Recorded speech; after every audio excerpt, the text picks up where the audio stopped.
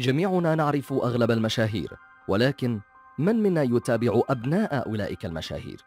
ما لا تعرفه أن بعضا منهم يحظى بحياة أكثر إثارة من أسلافهم فمثلا ماذا تعرف عن عائلة الأب الروحي مارلون براندو الحقيقية؟ برأيك هل ابنة ستالين بنفس صرامة والدها؟ حسنا اليوم سنتعرف على بعض من أولئك الأبناء مثيري الاهتمام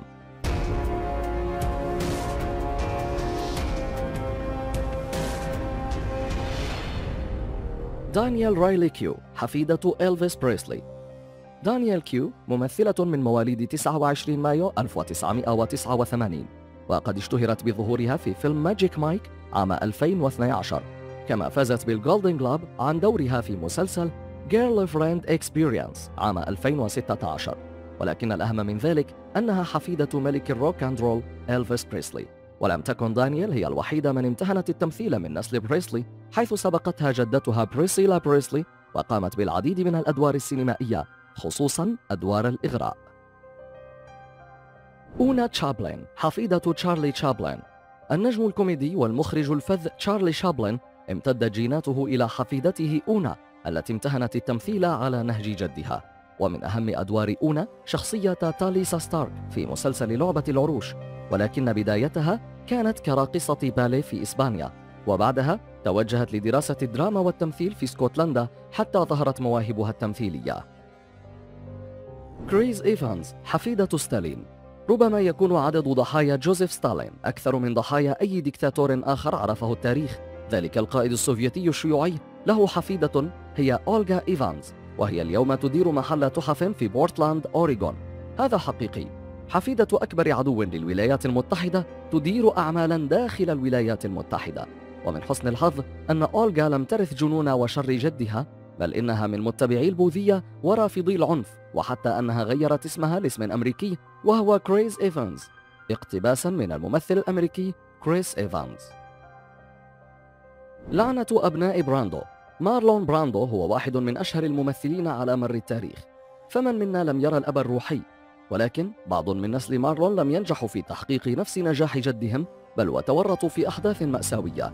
في عام 1970 ولدت شايان ابنة براندو وسط أحداث مأساوية حيث عانت من قلة تواجد والدها بجانبها بسبب عمله.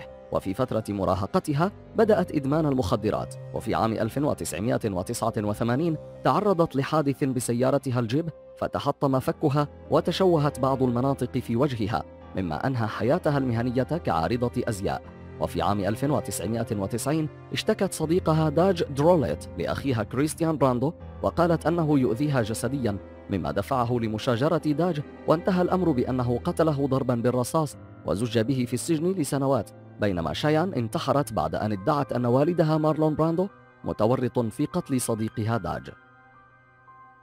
أليسون لي بورخيس ابنة آلان ديلون. ولدت أليسون لي بورخيس عام 1986 في باريس وهي ابنة الممثل الفرنسي آلان ديلون الذي اعتبره الكثيرون الأكثر جاذبية وإثارة في هوليوود. وعلى الرغم من أنها ورثت نفس الجاذبية التي لطالما ظهرت في صورها على مجلات شهيرة إلا أنها عانت في سنواتها الأولى واضطرت لإخفاء سر كبير لفترة طويلة. بالوما بيكاسو ابنة بابلو بيكاسو مصممة الأزياء الفرنسية والإسبانية الشهيرة بالوما بيكاسو والتي اشتهرت كذلك بمجموعة مجوهرات من تصميمها لشركة تيفاني الشهيرة. هي ابنة بابلو بيكاسو الرسام الأشهر في القرن العشرين والذي أثرت أعماله ليس فقط على زملائه من الرسامين ولكن أيضا على المخرجين وصناع السينما والمسرح. وقد رسمها والدها في العديد من اللوحات خصوصا وهي فتاة صغيرة مثل لوحة بالوما باللون البرتقالي وبالوما باللون الأزرق. وعلى نهج أبيها فهي مهووسة بالألوان. توماس مارتن أينشتاين حفيد ألبرت أينشتاين. بالطبع لا يحتاج ألبرت أينشتاين لتعريف ولكن حفيده توماس قد يحتاج لذلك. توماس أينشتاين هو حفيد أينشتاين الذي سار على خطى جده ودخل مجال البحث العلمي وقام بإنقاذ مئات الأرواح كطبيب تخدير. كان لأينشتاين ثلاثة أولاد. توفي واحد منهم في طفولته وتبقى الأخوان هانز وإدوارد ومن بين أطفال هانز وصل واحد منهم فقط لسن البلوغ وهو برنارد سيزار أينشتاين الذي عمل بالفيزياء كذلك ورزق بعدها بتوماس. ولهذا فهناك احتمال كبير بوجود الجين العبقري الذي اعتقد الكثيرون أن ألبرت أينشتاين حظي به وربما يكون أورثه لنسله. ماثيو فرويد حفيد سيغموند فرويد.